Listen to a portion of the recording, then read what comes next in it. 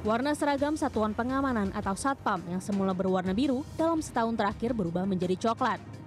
Perubahan warna pada seragam Satpam ini sempat menimbulkan kebingungan di tengah masyarakat karena seragam Satpam yang terlalu mirip dengan seragam polisi. Belakangan pun muncul kabar bahwa Korps Bayangkara akan kembali mengubah warna seragam Satpam dari coklat menjadi krem.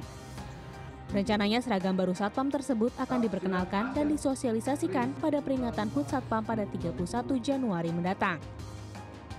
Seragam ini ada baju, ada celana. Nah ini yang akan dikaji adalah baju, ya bajunya saja.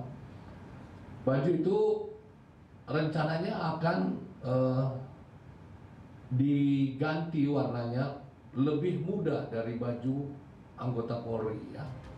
Aturan penggunaan seragam Satpam akan diperjelas dalam peraturan Polri. Kini, Perpol tersebut masih dalam kajian Korps Bayangkara.